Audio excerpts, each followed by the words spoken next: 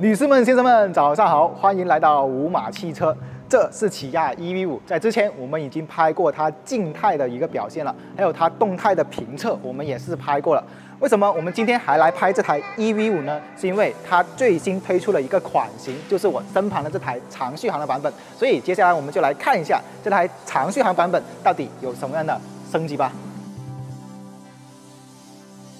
首先，先给大家放几个空镜来看一下这台 EV5 的长续航版本跟普通续航版本到底有什么外观上的区别，大家可以猜一下。其实大家不用猜了，这个长续航版本跟普通的版本并没有什么不一样的地方，因为它是起亚 EV 家族化的一个设计，所以我们能够看到它这种灯组的一个造型啊，都是非常特别的，并且整体的一个形象啊也是足够新能源化。另外，我们这台 EV5，因为它整体的一个定位是偏向于家用、偏向于实用类型的，所以它整个设计就是这种比较方正的类型，在市面上其实很少见的，所以啊，它内部的一个空间利用率是很高的。所以接下来我。我们就来看一下这台 EV 五内部空间变化的一个魔术空间吧。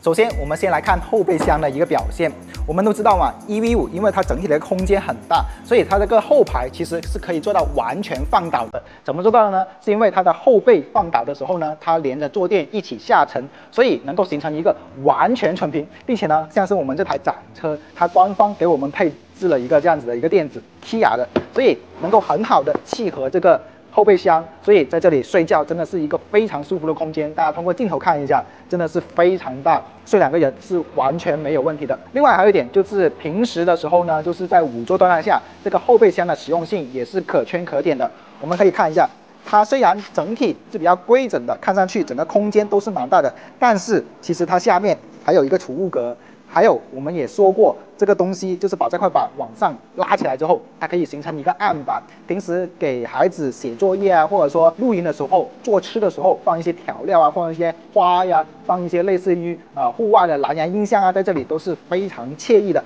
并且它上方还有一个灯，所以。整体的实用性非常 OK。除此之外，我们能够看到它还有一些移动的锚点，用来可以固定不一样尺寸的一些东西，譬如像是你平时买的一些家饰啊，或者说零零碎碎的东西，其实你都能够拍下这些锚点来去固定到你需要的位置。所以我觉得这个后备箱的实用性在同级之中应该是最能打，而且是最好用的。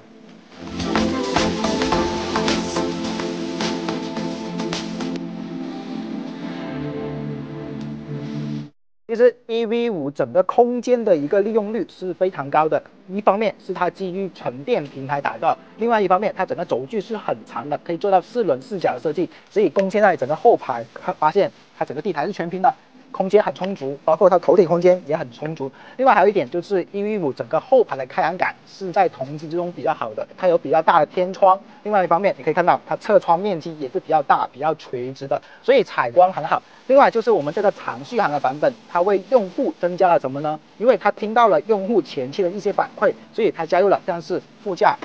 小桌板。都是有的。另外呢，就是在座椅后方这个充电接口，它移到了旁边，同样还是有所保留的。同样还有一点是很亲和的，或者说很照顾到消费者，就是它加入了一个冷暖冰箱。这个冰箱它的温度可以从五度到五十五摄氏度，也就表明现在夏天的时候它可以冰冷饮，冬天的时候它有热饮，整体实用性也是相当不错的。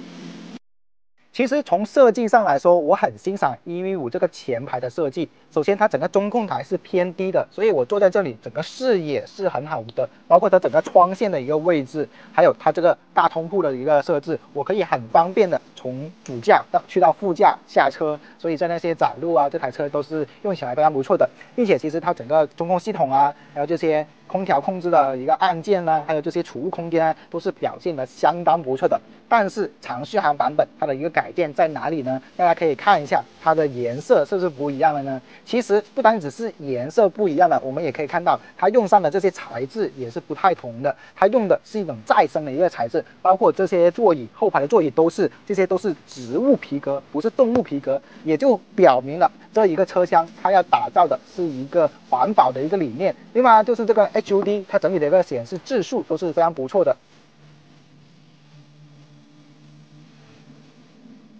还有一点就是现在的一些车企，它其实为了照顾到用户的一些需求，它也是增加了很多一些不一样的功能。像是我们这台长续航的版本，可以看到它主驾这里已经有一个腿托了，这就代表什么？代表它有一个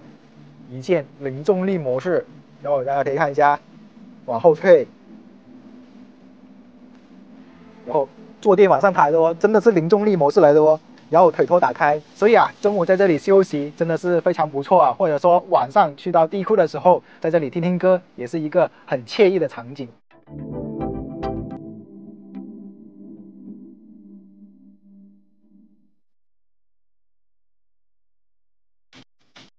其实，作为一台长续航版本车型，大家最看重的还是它续航方面的一个提升。现在呢，这台车它搭载的是一块八十八点一千瓦时的一个电池，所以它的 CLTC 纯电续航里程可以去到七百二十公里这么长，基本上就是同级里面最长的一个存在了。另外呢，我们这个长续航版本的车型，它同样是可以选装 eAWD，也就是说四驱车型。这样子呢，它多了一个七十二千瓦的一个后电机。总而言之，市区就是可以让它开起来更加爽快，特别像是有一些客户或者说有一些用户，它其实像是我们广州这样子，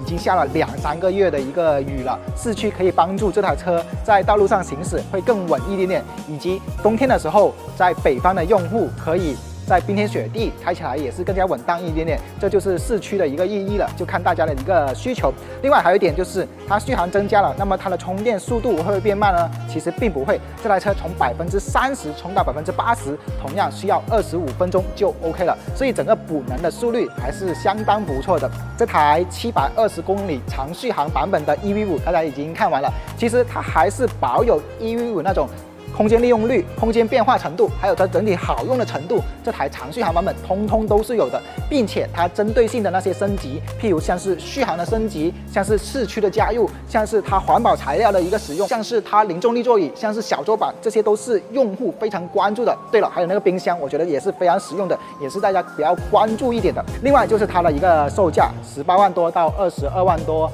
整体来说还是蛮具有竞争力的。另外还有一点就是，作为一台韩系品牌，它也给我们配了很多 L 二级的辅助驾驶功能。要知道，这套 L 二级的辅助驾驶功能，其实在韩系车，无论是现代的车还是起亚的车，它总体的表现在合资车里面都是表现的非常好的。所以大家有这样子的一个价钱，二十万左右，会不会选择这样子一台非常好用又好看，而且整体的一个实用性还有舒适程度非常好的一台起亚 EV 五呢？